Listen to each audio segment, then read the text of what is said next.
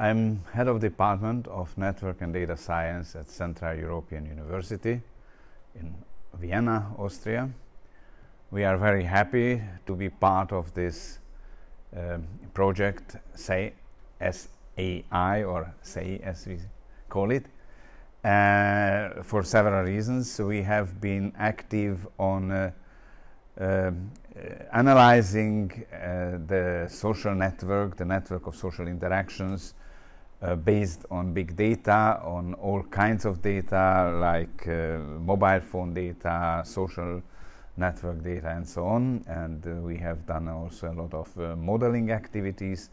And this is a, a very important input into this project because what we want to do is to create a, an ecosystem of uh, people and artificial intelligence such that AI is distributed, it's not centrally uh, governed, the data are not collected to a central place, and the decisions are also not made centrally.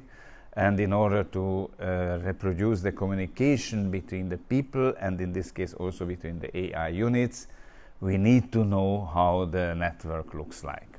SAI is exciting because it is a big challenge how to move from the paradigm of centrally governed AI to distributed AI and to explainable distributed AI. And uh, this has several motivations why we are interested in that. One of them is to take the control from the central power. We want to be uh, those who decide about our own data. We want to be those who control what happens with our data.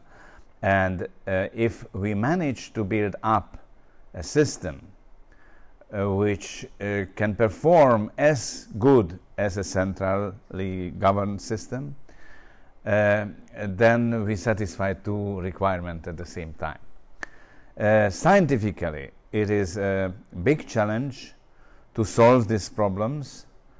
Uh, there are uh, network science problems, there are computer science, data science problems, and uh, it is a fantastic team which has uh, got together for this uh, undertaken. And we think that uh, we can find our place here and contribute substantially.